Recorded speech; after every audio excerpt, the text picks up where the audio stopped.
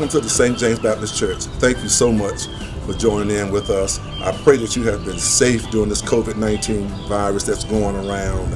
I know we can no longer worship like we normally have been, but that will not always last. Praise be to God, we can still get the Word of God out to you. Please turn in, watch our broadcast on YouTube Live, St. James Baptist Church, SJBC TVN or you can go to our church website and watch it live on our broadcast. I pray God will bless you with something that is said. Bless you St. James Baptist Church.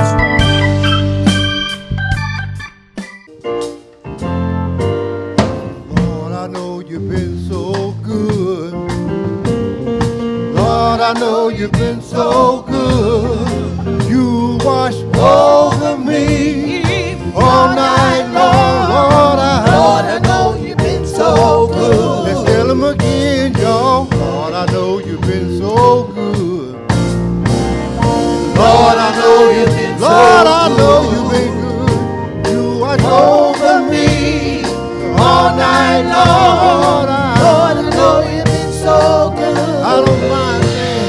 Jesus, I've been wrong in my life, and sometimes I even sin.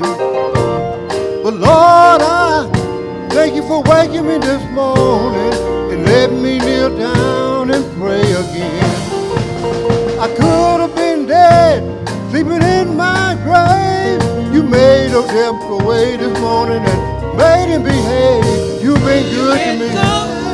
Thank you, Lord. You've been good. Jesus. You've been good. Oh, you've been mighty. You've been good. Hey, hey, hey.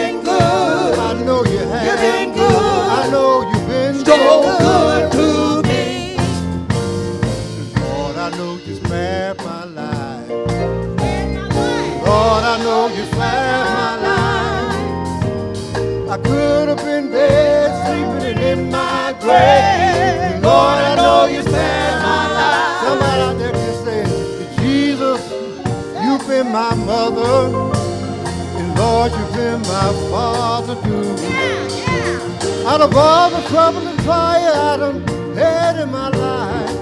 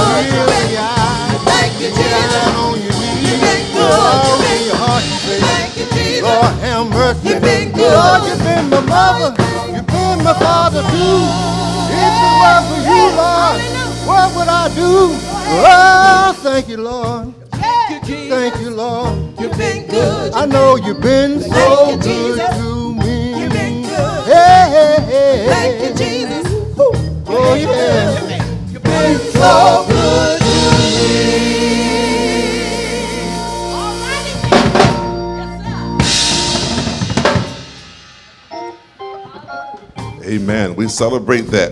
That the Lord has been definitely good to us, and we praise God. Let's just bless Him and thank Him and remind Him of how good He has been to us. We will be the benefits of that, and we praise God. Amen. Thank you, Brother Smith, for blessing us uh, this morning. We really needed needed to hear that in our spirit on this day. I failed to remind you, a Sunday school today at 1230 and most of you already have the conference call information. At 12:30, we will have our uh, Sunday school with Dr. Vivian McKnight uh, at 12:30. So please look forward to that um, today at 12:30 through conference call. Amen. Let me uh, turn uh, to Mark chapter 9. Mark chapter 9 is our text on this Sunday morning, the second Sunday of the month of June. Time is flying. Summer is almost here. Mark chapter 9. Thank our praise team and musicians. Thank you this morning. Amen for blessing us.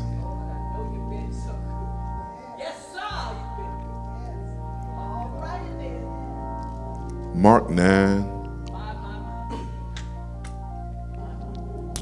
Um, I want to begin at verse number 33. Mark 9 and 33, if you have it. Mark 9 and 33. They came to Capernaum. When he was in the house, he asked them, What were you arguing about on the road? But they kept quiet because on the way they had argued about who was the greatest. Sitting down, Jesus called the twelve and said, Anyone who wants to be first must be the very last and the servant of all.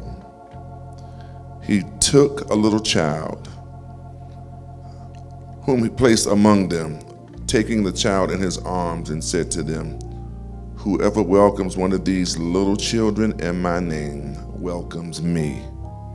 And whoever welcomes me does not welcome me, but the one who sent me. Verse 37 Whoever welcomes one of these little children in my name welcomes me.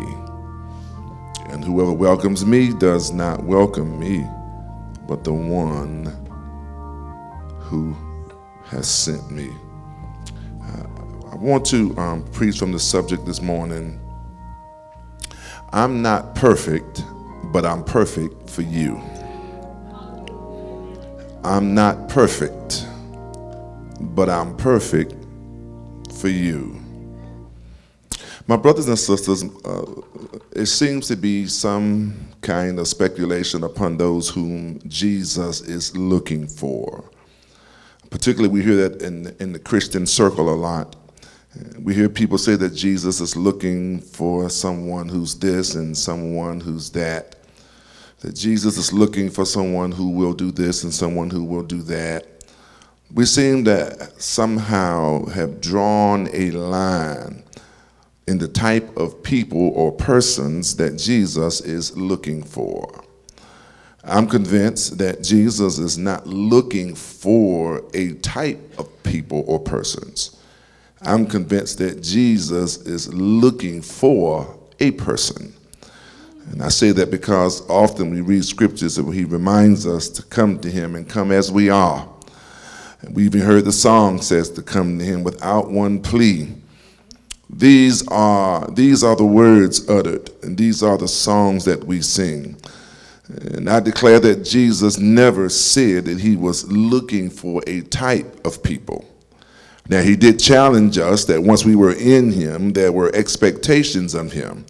And the expectations is that we would that we would redeem our lives and we would consider how we live, that we will walk as we would quote circumspectly among the world. that we will not be a stumbling block to others, and that we will always live a life of humility and serve Him with gladness. But, church, that is after one has been born again. That is the expectation and the teachings of Jesus after one has accepted Him as Lord and Savior. Prior to being accepted as Lord and Savior, Jesus never said He was looking for a certain type. Matter of fact, John's made it simple when he said in 3:16 that for God so loved the world that he sent his only begotten son that whomsoever believeth in him shall not perish but have everlasting life. The whomsoever was not restricted to a certain kind of people. Jesus is looking for sinners. He's looking for those whose life has not been redeemed by his Father. He's looking for those uh, in all walks of life. He's looking for those geographically who live all over the world. He's looking for those who come from rich families and poor families. He's looking for those who has habits and those who don't have habits. He's looking for those who are willing to confess that he is Lord and that he is the Savior of the world. He's looking for those who don't mind and who can recall and remember that every knee will bow and that every tongue will confess. He's looking for those of us who are gathered around this altar, those of us who are gathered in front of the TV even now, those of us who are in the Lord's house is whom he is looking for. But he's also looking for those who are outside the body of Christ. Whosoever will, he said, let them come. He's no respecter of persons. He looks beyond our faults and he ministers to every last one of our needs. There was a conversation ensued among disciples. These brothers were spending time around Jesus. They had seen him during the Mount of Transfiguration. They had been around him long enough to learn, I'm going to say by now, at least learn something. You ought to be around Christ long enough to learn something. You may not know everything, but you ought to at least learn something. These brothers, I would have thought by now, ought at least have learned something. They engaged in some conversation, and the conversation kind of went like this. The conversation kind of went, I wonder who would be the greatest in Jesus' kingdom. Once he gets to his kingdom, which of us, no, not others, but which of us which of us will will sit at the front? Which one of us? Which one of us will will be uh, in in order and in rank and in position? And the conversation between them really started off among a conversation, but it ended up in and escalated into a debate. That's why you got to learn how to be careful sometime in engaging in conversations with people because you don't want the word of God to become debatable. I do it all the time, particularly for those who are not of my religion. Amen. For those who some reason want to just seem to bother the neighborhood and knock on folks' doors, amen, with their belief. But then I remind myself that I, the Word of God was never meant to be debated, but it was meant to be lived. And so that's why you don't get into uh, the word of God being debated. It, what really started in the conversation ended up in a debate. And the debate was who among them would be the greatest in the kingdom? Isn't that something? Couldn't they find something else to talk about? Couldn't they have just sat down and just reminisce over the healings they've seen Jesus do? The mouths they've seen him feed? The widows, those whom he had made whole? Wouldn't that have been a better conversation? to be able to discuss among each other. It's amazing how, once we are in Christ, we seem to want to strive after position, as if we are in the world and position really matters. Jesus never told any of us that position matters. In fact, he told those brothers after getting them to themselves, and of course, they talked about this without Jesus. But then Jesus gets them to himself and said, What was it that y'all were talking about back there? What was the conversation? I didn't want to get into y'all conversation because I didn't want y'all to think that I was ear hustling. So, what was you talking about back yonder? As my grandmama would say, what was you talking about back yonder over there in your conversation. Well, Jesus, we was just debating. We was just sitting down. You know, we've been around you for a while, and we like what you do, and we sing what you've done, and we are we are part of the kingdom now. We're part of you, and so. Uh, we know you are preparing us, as you said, to do great works, that greater works that we will do that you have already done. We shall do greater things, and so but we know that you're not going to be around long. We just don't know how long, but we do know the day and the hour is coming when the Son of Man must, must leave us. But before you leave us, Jesus, we want to ask you a question before you leave, and then that way we will can be prepared and we'll know. But which of us will be which of us will be the greatest in the kingdom?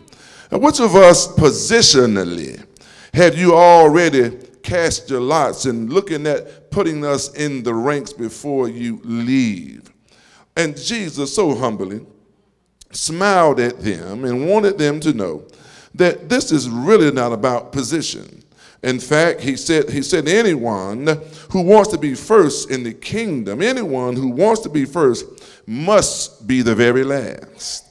And the one that is last, reminded, remember, must be the servant of all. Uh, he took a little child and placed the child in front of them, held the child in his arms, and says, As a matter of fact, whoever welcomes one of these little children and do it in my name welcomes me. And whoever welcomes me welcomes my Father, or welcomes not just me, but the one who sent me. Jesus said, I'm not looking for perfection. You brothers got it all wrong. I don't, I don't know if I misled you in your new members class. I don't know. I, I don't know if, if, if, your Sunday school teacher may, may have misquoted or told you wrong or you misinterpreted. I don't know if you've been talking to others, if you're just used to being in position. But that's not how it works around here. That's not my desire. Position is not my desire because if position was my desire, I would have stayed with my father and have never come down to the earth. It's not about position. It's not about prominence. It's, it's not about all of that. But Jesus said, listen, I'm looking for those who are imperfect. So through the blood and through the teaching, I can make them perfect. In, in other words, Jesus said, Listen, you're not really perfect, but, but guess what, disciples? You are perfect for me. You're not perfect. You didn't come from perfect backgrounds. You, you don't have the perfect position. You don't have the perfect attitude. You don't have the perfect behavior. You don't have the perfect knowledge. You didn't, you didn't, you don't have the perfect finances.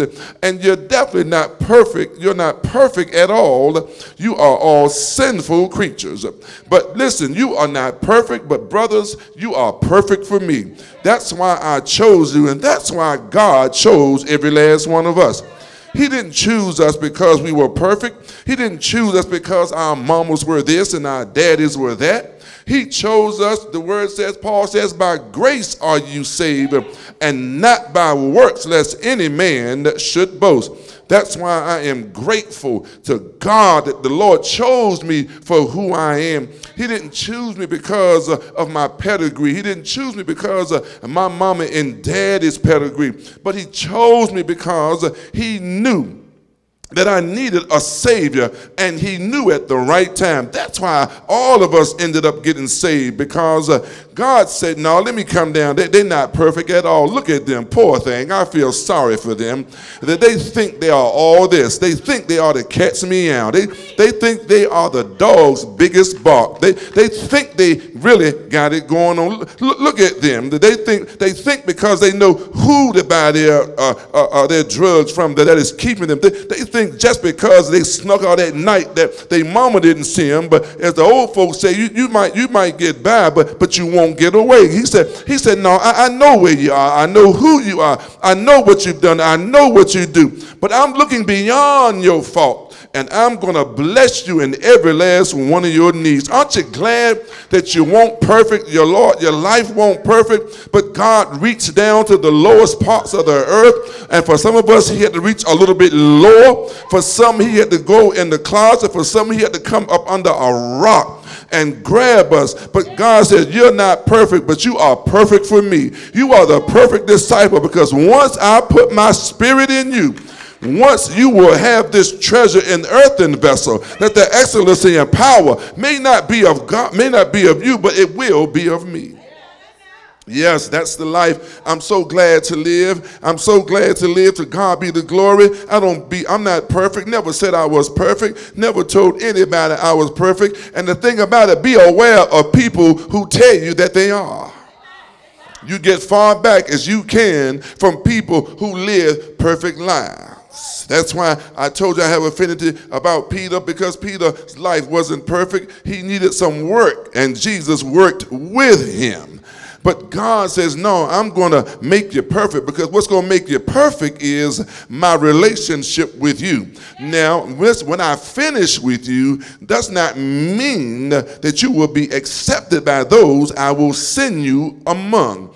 See, that's what the world is looking for. The world is looking for perfection. I think we need to lower our standards because you will never find anybody that's perfect. Nobody has been perfect. Well, Pastor, my mama is perfect. The devil is a lie. Your mama ain't perfect. But Pastor, my grandmama and my granddaddy were perfect people. No, no, they were just perfect in front of you.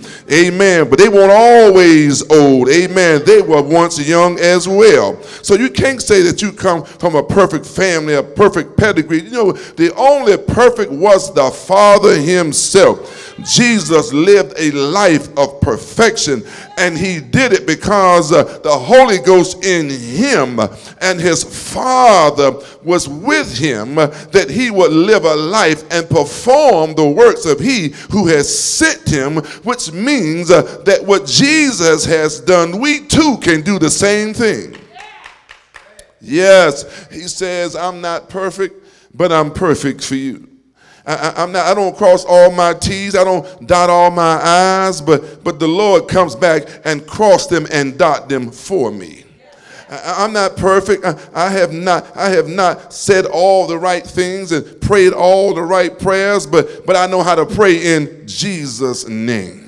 I have not always given all my tithes. Yes, a man has robbed God, but, but I praise be to God that, that he rebuked the devourer for, for his name's sake. He re still rebuked the devourer off me when the, the opportunity came.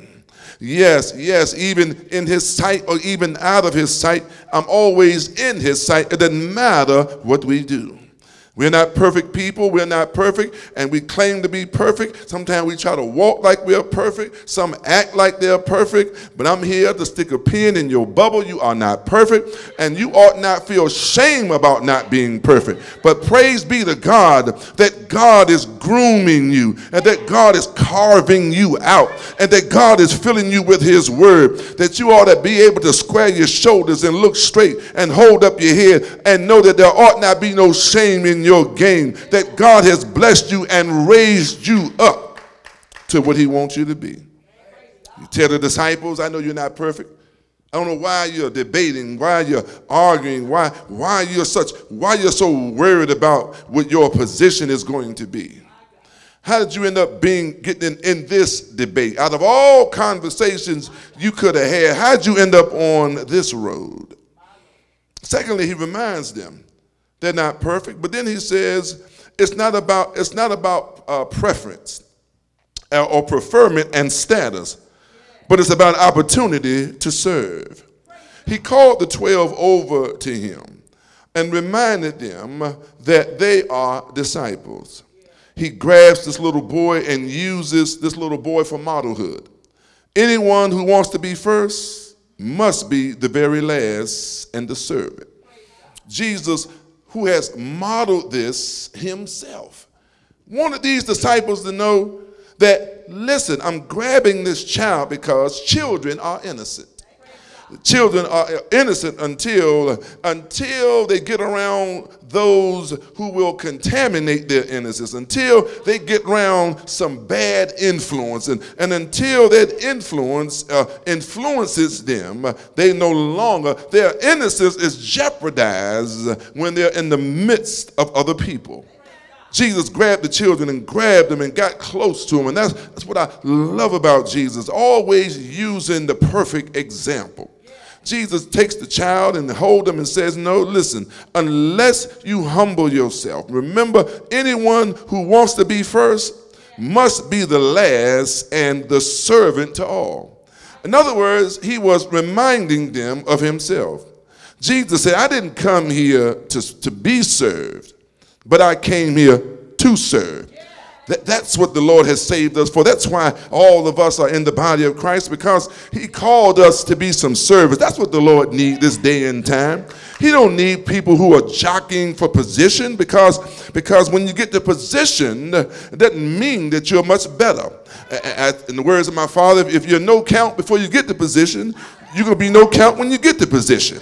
It, it, does not matter. He called us to be servants. That's what the Lord is looking for. He's looking for some people who will not look down their broad noses and their African American thick lips at other African Americans. He's looking at some people who don't mind going into the places where others won't go. He's looking for some people who will look beyond their attire and look at what other people have and minister to them. He's looking for service. And let me add parenthetically that being a servant sometimes will get you in trouble.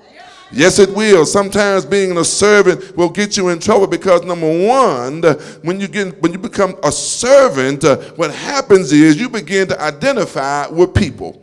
You meet them where they are. And when you meet people where they are, sometimes others around you will look at you and question, why are you meeting them where they are? That's what happened with Jesus. Jesus identified himself with everybody. He would sit down and talk to the lowest of the low. He would sit down and talk with anybody. He would drink with anybody. He would eat with anybody. But yet he was accused of being a wine bibber. He was accused of, of being one of them. And Jesus said, Listen, let me tell you something. Listen, I'll never forget where I came from. I ain't always lived with my Father in heaven heaven, I was born to a poor mother. I was born to a poor father. I, I know what it's like to live in the squalor. I know what it's like to not have two nickels to rub together uh, to make a dime. I, I, know what it's like to eat the same thing every day baked chicken, fried chicken, barbecue chicken, chicken and dumplings, chicken salad. I, I know what it's like to be able to have a family who didn't have it all and born to a mother of low estate. Jesus said, I will never never forget where I come from. That's what a real servant is. A real servant is somebody who will never forget where they come from. They can get along with everybody and anybody from anywhere, anyhow. When you know what the Lord has done for you, you have sympathy and empathy for other people. That's why Jesus had a prophet It's without honor even in his own country. Sometimes uh, when you get around your own people, sometimes, sometimes your own people won't accept it. But Jesus said, let me tell you, you might not accept me, but I know others who will take me as I am. In the words of Mary J. Blige, take me as I am. Yes, I love Jesus because one, he remembered me. He knew where to find me and he identified himself with me. Jesus will go with you anywhere, find you. I don't care where you are. He'll come to your rescue. That's what a real servant does. A real servant will come to people right where they are and not judge them, but help them get off of their feet. He was a real servant, and he chose these disciples to be servants. That's what we are, church. We are disciples. We are followers of the Lord Jesus Christ. We, we humble ourselves. We, we, we, now, humbling yourself doesn't mean that you let everybody walk on top of you either. Yeah, sometimes people take our humility for granted. They think, well, he's not going to do anything because he's humble, and she's not going to do anything because she's so humble. No, uh-uh. Sometimes people will take your humility for granted because they think because you are meek and lowly and humble, and that you're not going to say nothing. And I'm going to tell you, but I'm mindful that people will treat you like you let them treat you because my humility, amen, does not mean that you can treat me any kind of way. Do I have a half a witness here? You're a servant. You're a servant, people will try to walk on you like you're a part of the road. When you are a servant, people will try to get over on you. When you are a servant, they think everything is yes, yes, and always amen. No, I might be humble and I might be a servant, but Jesus also had a time when he rebuked at the same time. Yes, he was a servant, and Jesus modeled that well. That's why the word says, Greater of him that is in us than he that is in the world. We can model the life of Jesus. We can do what Jesus did. We can go to, we can go fro. We are his disciples. Yes, we may not be perfect, but but again, guess what? I'm perfect for him. I may not be all that I want to be, but, but I am what I am for Him. I, I may not have all that I want to have, but such as I have, give I unto Thee. In the name of Jesus, rise up and walk. I, I may not be what you think I ought to be, but, but the one thing I know is that I am gifted in Him. Yes, I'm not perfect, but I'm perfect for you. Lastly, God uses, I love this because then God uses what I call sign language. He uses sign language to demonstrate his love and his word to us. He, he affectionately takes the little boy, a little child, into his loving arms and says, Whoever welcomes one of these, my little children, uh, in my name welcomes me. And whoever welcomes me, or not just me, but whoever welcomes me, welcomes the one who has sent me. This here was sign language.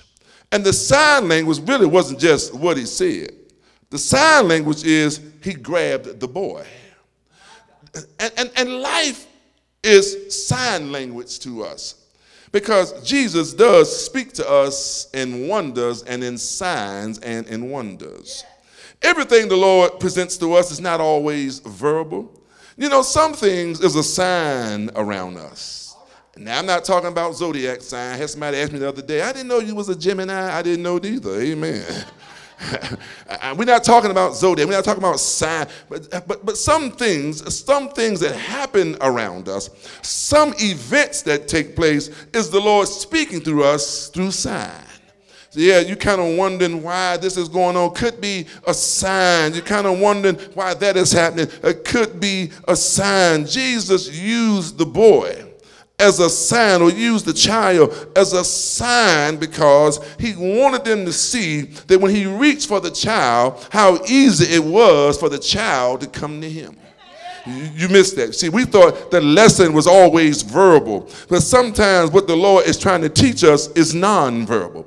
We thought that the lesson was in the language, the verbal language. No, it was, it wasn't. But the lesson was really in the, the uh, in the in the the sign of Jesus grabbing the boy. What was the sign, Pastor? You still hadn't told me. Yes, I did. You missed it. The sign wasn't that Jesus grabbed the boy. The sign is that the boy did not resist coming to Jesus. You don't see where the boy walked away, shrugged his shoulders, or did anything. As soon as Jesus extended the invitation to pull the boy, the boy so willingly comes to Jesus' arm. That's the sign Jesus wants for us that whosoever will let them come. He doesn't want hesitation, He wants us to come just as we are knowing that we are not as innocent as the child but jesus once we become and once we fall in the arms of jesus we become innocent. Do we have a witness in here? Which means all of my guilt is now gone. Once once i come in the arms of jesus he no longer looks at my sin but he sees me as who i am. That's what the innocence represents here. It represents that once you're in the arms of jesus Jesus, you are innocent. It doesn't matter what anybody has said. It doesn't matter what you have done in life. Whenever Jesus reaches for you, as long as you are distant from him, your, uh, your sin is always before you. But once he extends his hand and once you are in his arms, he wraps his arms around you, it's a sign of your innocence. In other words, Jesus said, once you are in my hands, no man can pluck you out. Uh, aren't you glad that you were in the hands of Jesus? That you came to him as a sinner, but now you are in his hands. And now that you are in his hands, your sins are forgiven. Come here, my brother on the cross. You were a known thief. Folk knew, amen, that you were a common thief in the community. And everybody was up there for the right thing except for Jesus. Oh, but see, people said to Jesus, if you are if you are who you say you are, won't you come down? And matter of fact, why don't you save us and save yourself? But but Jesus, I love what one man said that, that listen, we deserve to be up here, but this man uh, has not done anything. And Jesus, when you get into your kingdom, remember me. And Jesus said that this day you shall be in paradise. In other words, you are now innocent when you were guilty. And that's what Jesus has done. He has nailed all of our sins to the cross. And I'm so glad, I said, I am so glad that Jesus counts me as innocent. And now I could serve him. Do I have a witness in here? As the song would say, I promise him that I would serve him until I die. I am on the battlefield for my Lord. He's my rock and my salvation. I can serve the Lord with gladness. Do we have a half a witness? I can bless his name with gladness. Uh, I can sing with joy. I can preach with joy because the Lord has promised me that I might not be perfect, but Jerome, you are perfect for me. You are perfect to be my disciple. You are perfect to be my servant. And at the end of the day, when this life is over, there is a reward for you somewhere over there. Yes. Jesus said, Listen, you might not be perfect, but you are perfect for me. Don't worry about position. Don't worry about uh, uh, uh, peripheral treatment. Uh, don't worry about uh, being in position because, because he says, listen, it's about being a servant at the end of the day. That's what it's about. Maybe my brother, my sister, uh, maybe there's someone, amen, who says, you know, I, am guilty, but listen, when you come to Jesus, it's, listen, your guilt can turn into innocence. Well, Pastor, I've done, and Pastor, you just don't know. Listen, I don't need to know. It's not up to me, but God knows. You may not be perfect, but, but you're perfect for Him. You may not be perfect for the organization that you want to join because maybe you don't fit their status. You may not be perfect for the club you want to belong to because maybe you're not, you, uh, you, you're not quite one of them. You're an outcast. You may not be a part of the, of the club. You may not be a part of the organization. Listen, listen, uh, there are certain standards you must have uh, to be in this clique. Certain, um, certain, uh, you must have certain income to be a part of this club and this organization. Jesus said, "Look, I, I, that's not that's not what I need. Jesus said, listen, you might not think you're perfect, and you might not be perfect. And matter of fact, the Lord says, I know you're not perfect. All have sinned, all have fallen short of the glory. But guess what? He says, You are perfect for me. You are I, I've raised you up. I, I will take those from the from the guttermost and elevate them to the uttermost. He says, I can turn your life around. I, I when I finish with you, folk won't even recognize who you were. Aren't you that? Yes, I was. I once was lost, but now I'm found. I wasn't perfect, but I'm perfect for my Father. Let us pray. Gracious God, our Father, again, we thank you. We thank you, O Lord God, that you look beyond our faults and you minister to every one of our needs. Lord, all have sinned and fallen short of the glory of God.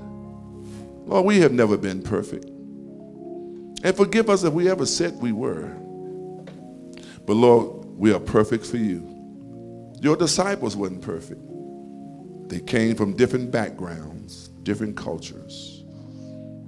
But Heavenly Father, they weren't perfect either, but they were perfect for you. Peter wasn't perfect, but you use him to be your disciple. Then you turn around and use him to preach and save 3,000. Then you turn around and use him to be pretty much the, the anointed one for your, the book of Acts. Paul wasn't perfect. He persecuted Christians. Wasn't perfect. But when you came in his life, you made him perfect for you. who ended up writing almost 13 of the, of the books of the New Testament. Mary Magdalene wasn't perfect. But Lord, when she hooked up with you, you made her perfect. She was perfect for you. Hallelujah. Heavenly Father, and the Bible goes on and on and on of others who were imperfect, but you made them perfect. God, right now, we pray some brother and some sister right now who feel the guilt of not being perfect. They want to come to you, but Lord, they got so much sin and so much dirt in their life. God, they just feel so imperfect. But Lord, we thank you because your love will cover a multitude of sin. You will wash them in the blood. You will forgive them of their transgressions. And they now will become perfect for you. Whosoever will, let them come. Come as we are. Lord, we pray that you will continue, God, to bless us. We pray for St. James Baptist Church and those on our healing and recovery list. We pray for those who've lost loved ones. We pray for those who have to have surgeries. We ask, oh God, in the name of Jesus, God, that you would go ahead of them. Prepare the operating room. Prepare the anesthesiologist God, you are the first anesthesiologist man have ever known. You put Adam to sleep. And while he was asleep, you took from him a rib and made uh, Eve. God, we thank you, oh God, for being not only the first anesthesiologist, but God, you've also was you was the God, you was the first uh, surgeon as well.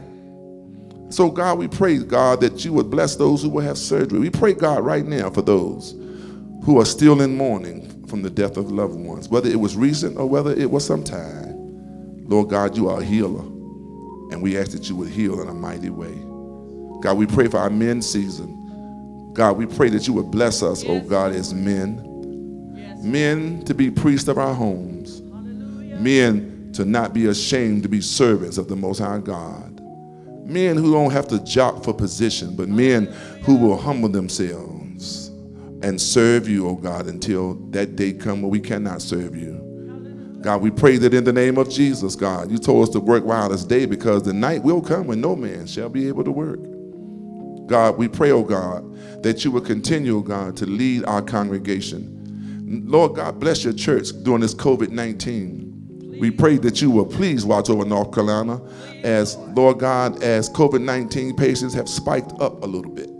God, help us to humble ourselves. Put on our mask, God, and and uh, and so practice social distancing, God, so we can get those numbers down, God. So, Lord, we thank you for the opportunity to be able to come to the house of God and worship. Thank you, Lord. God, bless us, God. Bless those who have to work from home. And we pray, God, for those whose jobs have been furloughed, who have not worked since March. God, who are who are at home and cannot work, want to go to work. Bills are catching up. God, some of them were able to qualify, Heavenly Father, for government assistance, and some of them were not. God, we pray that in the name of Jesus, God, that you will still put bread on the table, oh God, Hallelujah. and feed the children. God, we pray, oh God, that you will continue, oh God, to lead us and guide us and help us to be mindful that the steps of a good man are ordered by the Lord. Bless us, God, this week. Cover us, if you will, in going and in our coming. And God, we'll, we shall forever give you praise. We bless you. We give you praise. We lift you up on high. In the name of Jesus, we pray. And the people of God say, Amen. Hallelujah. Amen. And now unto him who is able to keep us from falling and who can present us faultless before his presence with exceeding and with great joy. To the only wise God, our Savior, be glory, majesty, dominion, and power, henceforth and forever. And the people of God say, Amen. I'm not perfect, but I'm perfect for you.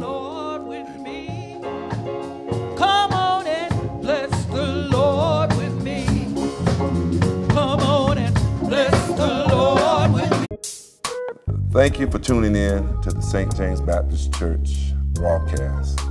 We pray something was said or something done that convicted your heart to continue serving God. However, if you are not a part of the body of Christ and would love to accept Jesus Christ as your Lord and Savior, you can give us a call 336 273 0822 or either 0823. please give us a call and leave us your name, and we will be more than glad to speak with you. If there's a local congregation in your neighborhood or your community or your city, please give them a call to let them know that you would love to accept Jesus Christ and be a part of their ministry. Thank you for tuning in, and we hope to see you again.